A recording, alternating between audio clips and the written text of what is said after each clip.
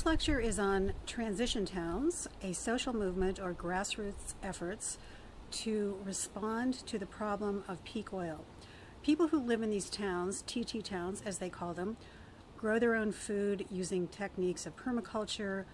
They learn how to use less energy, how to save rainwater, how to grow chickens, how to work with local governments, and especially they learn how to build community. And the idea here is an elegant scaling down of resource use with improved civic life. So the general goal is less consumption and more community. Um, the social movement began in the UK in 2005, and there are now over 1,100 registered towns all over the world. Um, and transition in this social movement is defined as transforming the place you live from a current, highly vulnerable, non resilient, oil dependent place to a more resilient, more localized, diverse, and nourishing place. And the guru behind the movement is Rob Hopkins, um, who wrote these two books and has been the spokesperson for the movement and a big generator of activity um, behind the development of towns all over the world. So Hopkins says that resilience refers to communities' ability to not collapse at first sight of oil or food shortage and to respond with adaptability to disturbance. So this is a social movement that's looking ahead to disruption and trying to prepare in very practical, everyday ways for what may be coming. Um, I stress that this is a movement of very ordinary people. Um, this is not eco-villagers or preppers or survivalists or people that want to go live on farms or communes. It's just everyday people who have become aware of some of the issues around peak oil and climate change, who want to stay in their own homes and who want to learn how to be more resilient and build resilient communities around them. And these towns are all over the place. You find them in Santa Cruz, LA, Laguna Beach, Santa Barbara, Berkeley, San Francisco, uh, to name just a few of the places that we all are familiar with.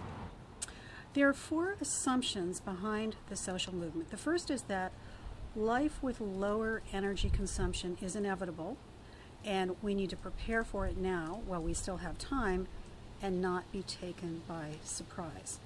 Um, another assumption is that communities currently lack resilience um, and that severe problems that we might encounter in the future, we're not really prepared for those, um, especially the problem of more expensive oil. And while we still have oil, we should start thinking ahead to the future and planning and preparing. Um, Transition Town is very big on acting collectively and acting now. So the idea is that you don't want to just get individuals to turn their thermostat up or down or use a little bit less energy or even to buy a hybrid car, you want to weave sustainability into the fabric of an entire community. Um, Hopkins says by unleashing the collective genius of those around us, we can creatively and proactively design our energy descent, build ways of living that are more connected, more enriching, and that recognize the biological limits of our planet. So in some ways this is very humble and homey and local and community based and in other ways it's a very big vision um, and it's kind of a radical vision. Um, now here is a more theoretical definition of resilience. This comes from biology and Walker et al. say the capacity of a system to absorb disturbance and reorganize while undergoing change so as to still retain essentially the same functions, structure, identity, and feedback is the essence of resilience. So we bring this concept into a course on disruption because, of course, when things are disrupted, um, if they materially change and don't go back to their original form, then you have something that could be quite dysfunctional. So if you have a community that can bounce back from disruption, that is resilience, and that's what we're aiming for, and that's what this social movement is um, about. Now, community is really the byword of this social movement, and Hopkins says if we wait for governments, it'll be too late. If we act as individuals, it'll be too little. If we act as communities, it might be just enough just in time. So they're looking for this middle ground between changing laws and policy on the one hand and just acting as an individual on the other and trying to find out what we can do in small local groups that we might still be able to have some control over and yet still have a pretty big impact. Uh, now, what is it about community that this social movement likes so much? Um, here's a response from a survey that I think is pretty revealing. We value neighbors' views, opinions, and information more than we value information from experts, government advisors, or companies who want to sell us their products. We think our neighbors are more trustworthy.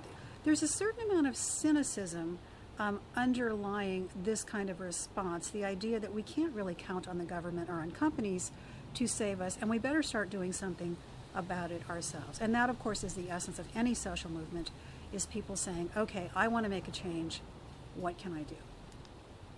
Um, here's another response uh, that I like that's very personal. If things get really bad with climate change, I know everybody on my street. We've all been together in groups. We've all had dinner together. We're all friends. If something goes wrong, we're not going to fight. We're going to say, how can we work together? What can we do? How can we share food? I have a little bit of bread. I have some croissants. I have a bag of flour. We are going to share everything and make it work. So the idea is that these kinds of social bonds will be knit into the community now before we're really disrupted, and they can then be relied on um, if problems arise in the future. And even if problems don't arise in the future, um, this is a better way to live in a community, to know your neighbors, to share, to have dinner together, to feel that you can rely on them.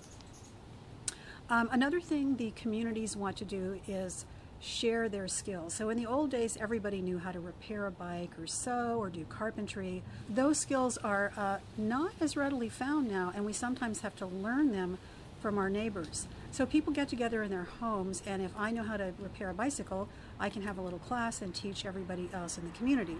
Most of the skills tend to be old fashioned, like keeping chickens, but some of them are more contemporary, like repairing or upgrading computers um, or building a website. So there's a whole range of skills that people share in these community based classes. And as a result of even just getting together in their homes, that in itself is an act of building community. Um, and in the survey, people said that that was one of the things they really liked about the social movement was that they were getting to know their neighbors in ways that they had not before.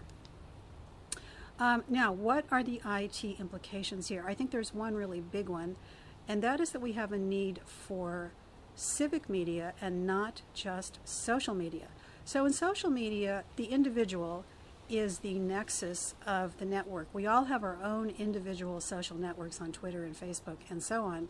Um, but those kinds of networks aren't really set up to deal with our neighbors and share geographies and communicating about practical problems and solutions. So there's a great opportunity here, a great design opportunity for thinking about what it would mean if we had civic media and not just social media. Okay, here's a couple books, both by Hopkins, that I think are really good. They're very readable. They have lots of nice diagrams and pictures, and I highly recommend them. Thank you.